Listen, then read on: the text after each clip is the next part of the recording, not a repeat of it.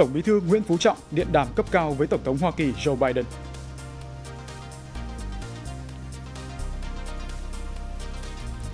Thẩm định quy hoạch hạ tầng dự trữ cung ứng xăng dầu.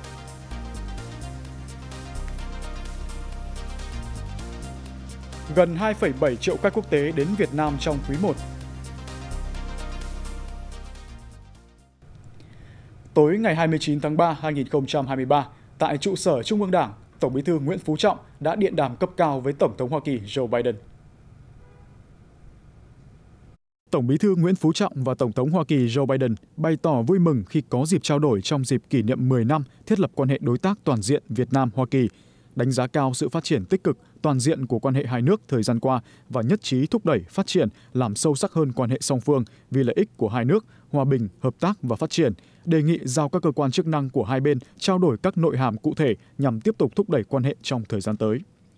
Tổng Bí thư Nguyễn Phú Trọng nhấn mạnh những kết quả đạt được trong quan hệ giữa hai nước là phù hợp với nguyện vọng của nhân dân hai nước, được thúc đẩy trên cơ sở tôn trọng độc lập, chủ quyền, toàn vẹn lãnh thổ và thể chế chính trị của mỗi nước. Hiểu biết lẫn nhau, hợp tác bình đẳng, cùng có lợi và theo tinh thần gác lại quá khứ, vượt qua khác biệt, phát huy tương đồng, hướng tới tương lai. Tổng thống Joe Biden nhất trí với các ý kiến đó của Tổng Bí thư Nguyễn Phú Trọng. Tổng Bí thư Nguyễn Phú Trọng phát biểu, Việt Nam kiên trì đường lối đối ngoại độc lập, tự chủ, hòa bình, hữu nghị, hợp tác và phát triển, đa dạng hóa, đa phương quan hệ, chủ động và tích cực hội nhập quốc tế, là bạn, là đối tác tin cậy và thành viên tích cực, có trách nhiệm trong cộng đồng quốc tế.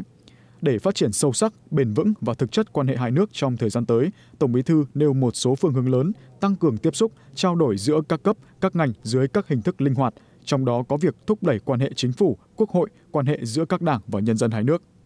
Tổng Bí thư cũng đề nghị hai bên tiếp tục mở rộng và đưa hợp tác kinh tế, khoa học, công nghệ là trọng tâm và động lực cho quan hệ, thực hiện các thỏa thuận hợp tác quốc tế, thực hiện các thỏa thuận hợp tác quốc phòng, an ninh, coi trọng việc thúc đẩy thương mại hài hòa, bền vững, hợp tác bảo đảm chuỗi cung ứng, cơ sở hạ tầng và các lĩnh vực mới như logistics, kinh tế số, chuyển đổi xanh, y tế. Đồng thời, hai bên đẩy mạnh hợp tác trong khắc phục hậu quả chiến tranh, gìn giữ hòa bình của Liên Hợp Quốc, trao đổi thông tin, phòng chống tội phạm và các lĩnh vực khác. Tổng Bí thư đề nghị Hoa Kỳ tiếp tục tạo thuận lợi để tăng số lượng du học sinh Việt Nam tại Hoa Kỳ. Hoan nghênh việc xây dựng Đại học Fulbright Việt Nam trở thành trung tâm đào tạo chất lượng cao ở khu vực. Tổng Bí thư Nguyễn Phú Trọng cũng cảm ơn sự hỗ trợ của Hoa Kỳ dành cho Việt Nam trong phòng chống dịch COVID-19, đề nghị Hoa Kỳ tiếp tục hỗ trợ các nỗ lực của Việt Nam. Tổng Bí thư phát biểu, Việt Nam sẵn sàng hợp tác với các đối tác quốc tế trong việc tăng cường hữu nghị và đối thoại, củng cố hòa bình, thúc đẩy phát triển, đề cao luật pháp quốc tế và ứng phó với những thách thức chung.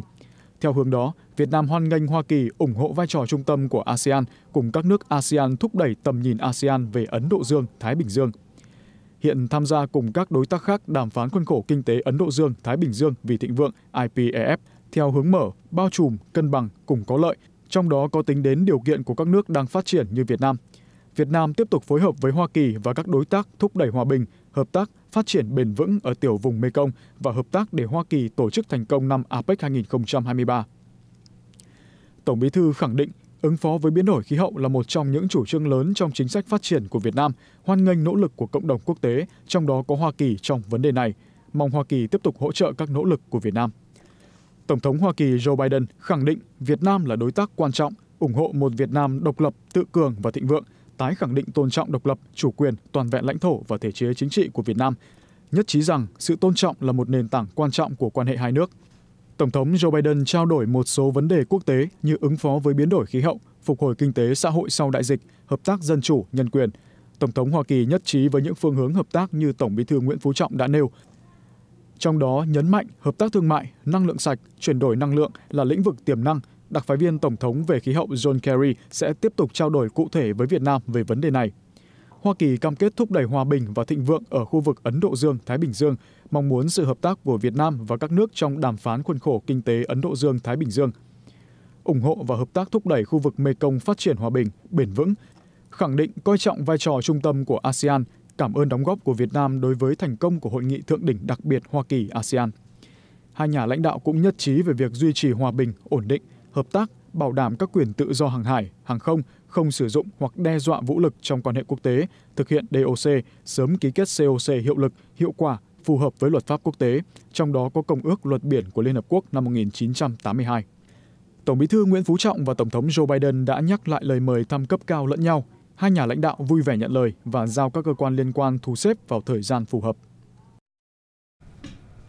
Sáng nay, tại trụ sở chính phủ, Phó Thủ tướng Trần Hồng Hà đã chủ trì cuộc họp Hội đồng thẩm định quy hoạch hạ tầng dự trữ cung ứng xăng dầu khí đốt quốc gia thời kỳ 2021-2030, tầm nhìn đến năm 2050.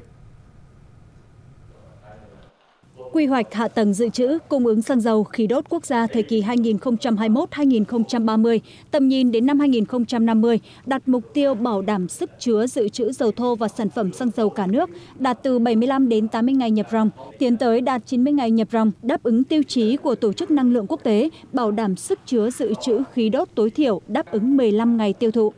Quy hoạch cũng nêu rõ các dự án trọng điểm quốc gia ưu tiên đầu tư như hạ tầng cho dự trữ quốc gia đối với dầu thô và sản phẩm xăng dầu, kho xăng dầu đầu mối quy mô lớn tại các khu vực có cảng nước sâu bảo đảm dự trữ đầu nguồn, bảo đảm nguồn cung ứng, cải tạo nâng cấp tuyến ống dẫn xăng dầu B12, đầu tư đường ống dẫn nhiên liệu bay, tuyến ống dẫn khí góp ý vào dự thảo quy hoạch các chuyên gia ủy viên phản biện đã kiến nghị bổ sung điều chỉnh làm rõ một số vấn đề như bảo đảm quyền lợi của doanh nghiệp người dân hài hòa yếu tố môi trường tính khả thi chuyển dịch cơ cấu năng lượng theo hướng xanh tái tạo cũng như lưu ý đến tính động tính mở trong quy hoạch vì liên quan đến sự thay đổi về công nghệ và xu hướng chuyển đổi năng lượng xanh.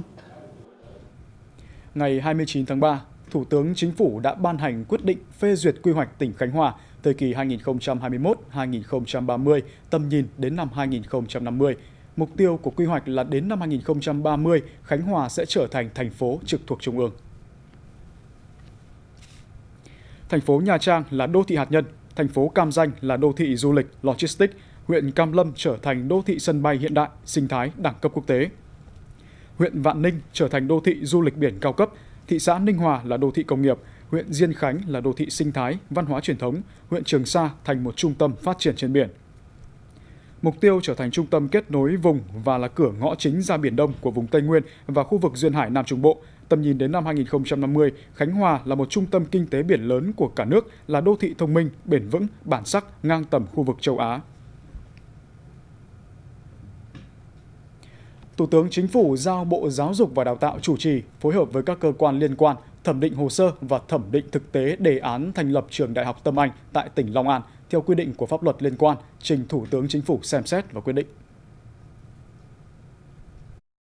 Đề án thành lập trường Đại học Tâm Anh do hệ thống Bệnh viện Đa khoa Tâm Anh là chủ đầu tư với số vốn đầu tư dự kiến trên 2.000 tỷ đồng. Trường Đại học Tâm Anh sẽ bao gồm nhiều lĩnh vực đào tạo, trong đó tập trung các ngành y tế, chăm sóc sức khỏe và các ngành nghề quan trọng khác. Nếu được phê duyệt, dự kiến năm 2024, trường Đại học Tâm Anh sẽ được triển khai xây dựng tại tỉnh Long An.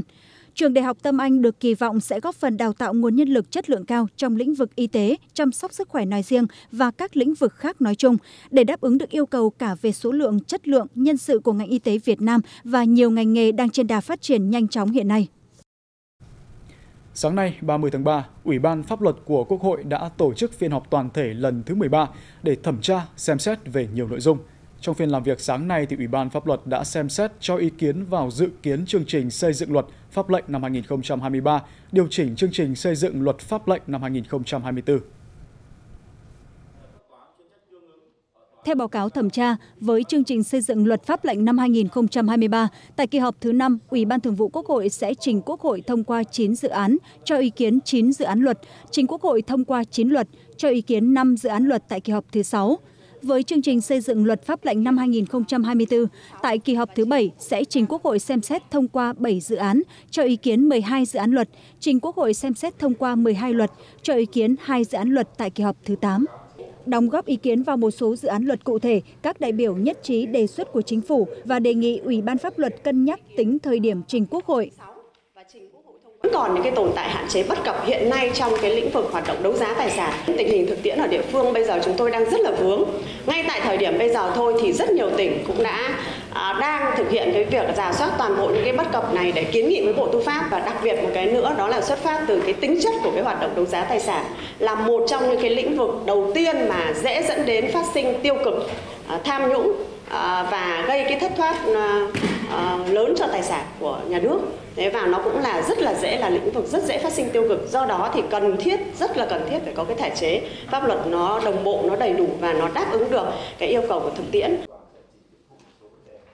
Ủy ban pháp luật đề nghị các cơ quan tổ chức được giao lập đề nghị chủ trì soạn thảo thực hiện nghiêm thực chất việc đánh giá tác động của chính sách, lấy ý kiến đối tượng chịu sự tác động bảo đảm thiết thực hiệu quả. Cùng với các ủy ban cũng đã uh, có những ý kiến để đảm bảo cái việc là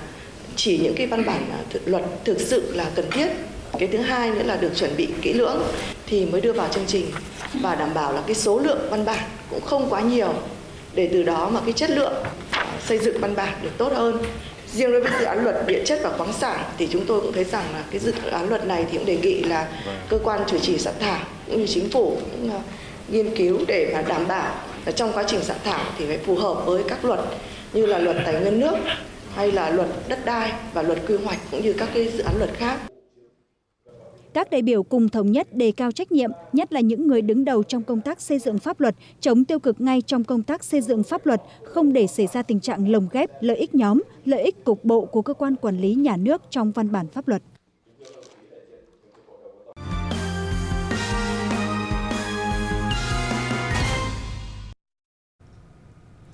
Kính thưa quý vị, theo báo cáo mới nhất của Tổng cục Thống kê, vào quý 1 năm 2023, cả nước có gần 34.000 doanh nghiệp đăng ký thành lập mới với tổng số vốn đăng ký là hơn 310.000 tỷ đồng. Con số này thì giảm 2% về số doanh nghiệp, giảm 34,1% về vốn đăng ký so với cùng kỳ năm trước. Bên cạnh đó, số doanh nghiệp thành lập mới và quay trở lại hoạt động trong 3 tháng đầu năm là gần 57.000 doanh nghiệp, giảm 5,4%. Cũng trong quý 1, số doanh nghiệp tạm ngừng kinh doanh có thời hạn là 42.900 doanh nghiệp, tăng hơn 20%, 4.600 doanh nghiệp hoàn tất thủ tục giải thể, tăng 6,5%. Như vậy là bình quân mỗi tháng thì có gần 20.100 doanh nghiệp rút lui khỏi thị trường. Trong quý đầu năm 2023 thì Việt Nam đã đón gần 2,7 triệu lượt khách quốc tế, con số này gấp gần 30 lần so với cùng kỳ năm ngoái.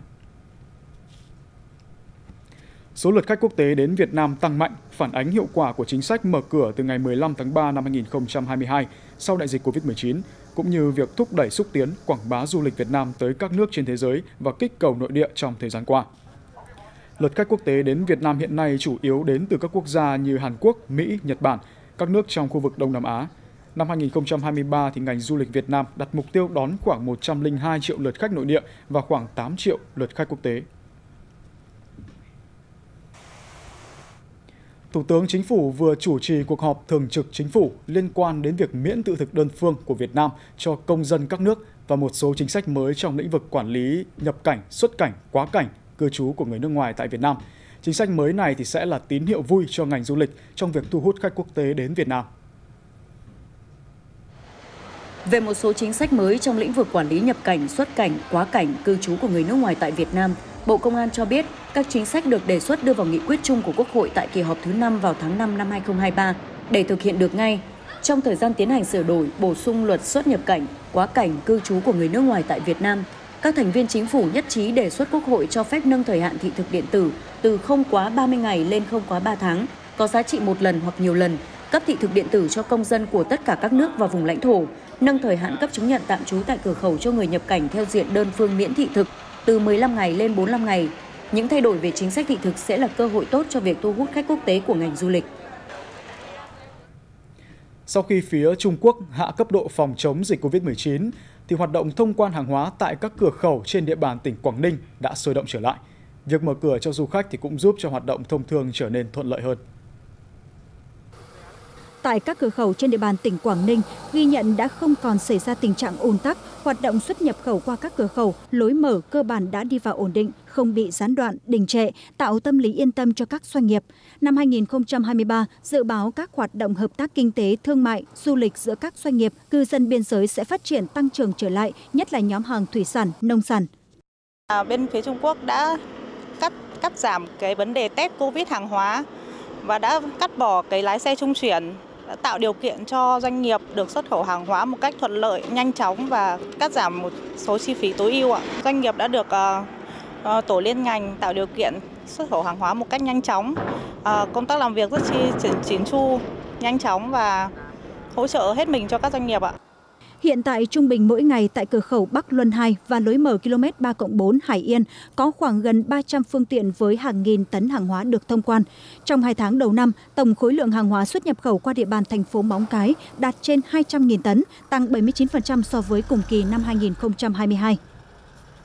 Phố sẽ đã chỉ đạo các cái phòng ban, đặc biệt là khối liên ngành trong khu vực cửa khẩu, ờ, uh, giả soát uh, các cái quy trình trong hoạt động ờ, làm thủ tục thông quan xuất khẩu để ờ, cắt giảm các cái chi phí ờ, phát sinh trong quá trình xuất khẩu và cũng cắt giảm các cái thời gian thông quan, thời gian lưu kho, lưu bãi để từ đó để giảm được chi phí cho các cái doanh nghiệp. Để hoạt động xuất nhập khẩu qua các cửa khẩu đường bộ có sự bứt phá mạnh mẽ sau 3 năm gián đoạn vì dịch Covid-19, tỉnh Quảng Ninh đang thúc đẩy để hai bên sớm đưa vào hoạt động các cửa khẩu song phương Hoành Mô Việt Nam, Động Trung Trung Quốc, đồng thời đẩy mạnh các dự án kho bãi trên địa bàn, các khu logistics tại khu kinh tế cửa khẩu. Thương vụ Việt Nam tại Indonesia, Bộ Công Thương cho biết là do khó khăn về lương thực, Indonesia vừa quyết định nhập khẩu 2 triệu tấn gạo dự trữ quốc gia trong năm 2023 đây là cơ hội để doanh nghiệp Việt gia tăng xuất khẩu gạo sang Indonesia. Để có thể cung ứng với số lượng gạo nhiều nhất cho đợt thu mua tới đây của Indonesia, Bộ Công Thương đề nghị các doanh nghiệp của Việt Nam tìm hiểu kỹ lưỡng thị trường, xây dựng phương án giao dịch, ký kết hợp đồng phù hợp, đặc biệt là các doanh nghiệp đã và đang cung cấp gạo dự trữ quốc gia cho Indonesia, cần chủ động sớm tiếp cận cơ quan dịch vụ hậu cần quốc gia Indonesia để quảng bá sản phẩm của mình. Trong hai tháng đầu năm, Indonesia là thị trường xuất khẩu gạo lớn thứ ba của Việt Nam sau Philippines và Trung Quốc. Lượng gạo xuất khẩu trong hai tháng đầu đạt gần 143.800 tấn, tương đương 67,3 triệu đô la Mỹ, chiếm 16% trong tổng lượng xuất khẩu gạo của cả nước.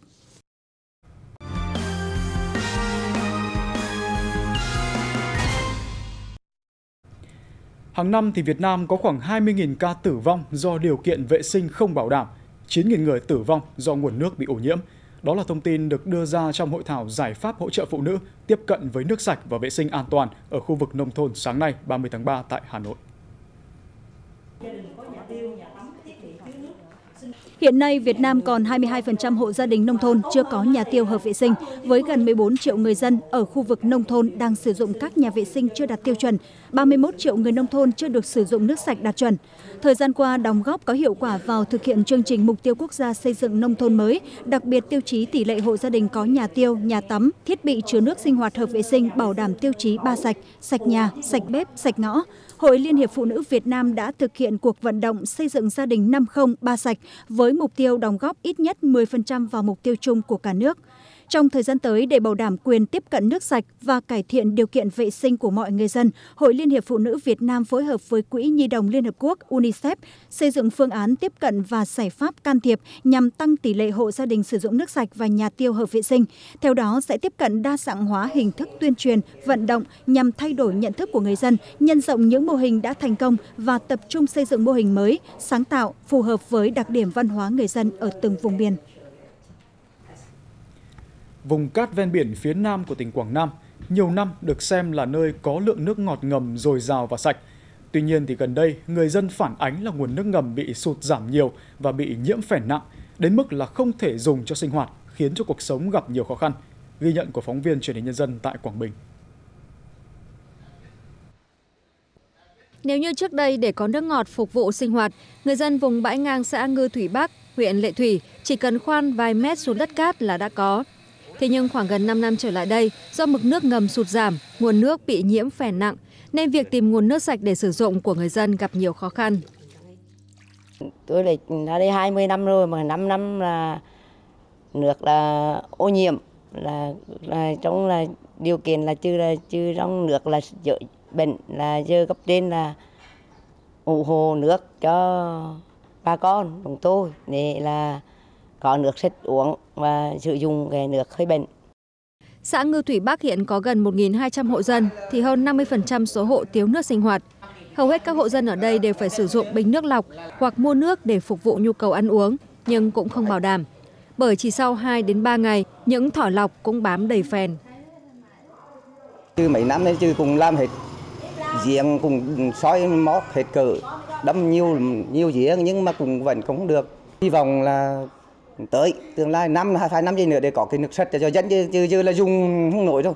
Vì thay cứ hai ngày thay cứ cái bình lọc liên tục nữa nhưng mà nước vẫn bệnh làm hối lắm. Hiện tại so với 7 năm về trước thì nguồn nước là hạ thấp xuống khoảng tầm 2 mét và phèn nhiễm phèn rất nặng à, ảnh hưởng đến đời sống cuộc sống của là bà con. À, thậm chí như là hiện tại bây giờ bà con là chi phí rất lớn mua hầu như nhà nào cũng có mua cái máy lọc à, để rồi sử dụng mục đích nên là nấu ăn và phục vụ là nước uống nhưng mà cũng không đảm bảo à, tầm 3 ngày đến một tuần là phải thay lọc à, thì rất ảnh hưởng đến là kinh tế xã hội cũng như là đời sống à, vật chất tinh thần của bà con. Không chỉ xã Ngư Thủy Bắc mà nhiều địa phương vùng cát phía nam tỉnh Quảng Bình, việc sụt giảm nguồn nước ngầm là rất đáng báo động. Cùng với đó là tình trạng nước nhiễm phèn nặng khiến người dân không thể sử dụng nguồn nước cho sinh hoạt. Để khắc phục, tỉnh Quảng Bình cần sớm chỉ đạo các ngành chức năng điều tra, nghiên cứu và hỗ trợ nguồn vốn đầu tư công trình cấp nước sinh hoạt cho người dân để ổn định cuộc sống. Sở Tài nguyên và Môi trường thành phố Đà Nẵng vừa có văn bản yêu cầu các hồ chứa thủy điện trên khu vực sông Vu Gia, Thu Bồn, tỉnh Quảng Nam vận hành đúng quy định, bảo đảm cấp nước an toàn đến cuối mùa cạn của năm nay. Sở Tài nguyên và Môi trường thành phố Đà Nẵng nhận thấy những ngày gần đây, việc các hồ xả nước phát điện quá lớn đã làm cho mực nước các hồ A Vương, sông Bung Bốn, Đắc Mi Bốn, sông Bung Hai hạ thấp hơn khoảng mực nước quy định. Trong khi đó, theo dự báo từ tháng 4 đến tháng 6, tổng lượng mưa khu vực Đà Nẵng, Quảng Nam phổ biến thấp hơn từ 5 đến 10% so với trung bình nhiều năm. Vì vậy, Sở Tài nguyên và Môi trường thành phố Đà Nẵng đề nghị chủ các hồ chứa trên lưu vực sông Vu Gia, Thu Bồn điều chỉnh lưu lượng xả, thời gian xả phù hợp nhằm đưa dần mực nước hồ về khoảng mực nước theo quy định của quy trình vận hành liên hồ chứa. Việc điều chỉnh được thực hiện cho đến khi mực nước hồ không thấp hơn khoảng mực nước quy định. Nhân kỷ niệm 64 năm ngày truyền thống ngành thủy sản Việt Nam, Sở Nông nghiệp và Phát triển Nông thôn Quảng Nam và Tri Cục Thủy sản tỉnh đã tổ chức thả 600.000 con tôm sú giống xuống khu vực rừng dừa 7 mẫu, xã Cẩm Thanh, thành phố Hội An. Hoạt động thả tôm sú giống xuống khu vực rừng dừa bảy mẫu được người dân xã Cẩm Thanh hưởng ứng tham gia tích cực. Trước khi thả tôm giống, ngành thủy sản đã lưu giữ, thuần dưỡng, kiểm tra chất lượng tôm sú giống kỹ càng. Khu vực rừng dừa bảy mẫu có môi trường nước trong sạch, đa dạng sinh thái là điều kiện tốt để tôm thích nghi, sinh trưởng, phát triển tốt. Việc thả tôm sú giống góp phần bổ sung nguồn lợi thủy sản trong các thủy vực tự nhiên, gia tăng số lượng cá thể, phục vụ khai thác thủy sản, nâng cao ý thức trách nhiệm của các tầng lớp nhân dân về bảo vệ, tái tạo nguồn lợi thủy sản và bảo vệ môi trường sinh thái. Những thông tin vừa rồi cũng đã kết thúc chương trình Thời sự trưa của truyền hình nhân dân. Cảm ơn sự quan tâm theo dõi của quý vị. Xin kính chào tạm biệt và hẹn gặp lại.